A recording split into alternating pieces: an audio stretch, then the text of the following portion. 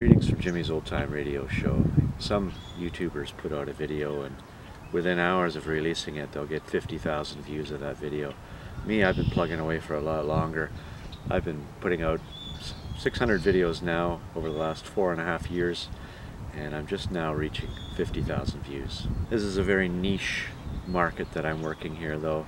Retirement home circuit. My channel is for recreation managers and for the seniors that they service. I do get some views from people that enjoy my tribute videos and my historical uh, music videos like my Wilf Carter and my uh, Willie Nelson. A few weeks ago I was playing a show, I had a lady in my audience, I gave her my card and she recognized me from my videos which was kind of neat.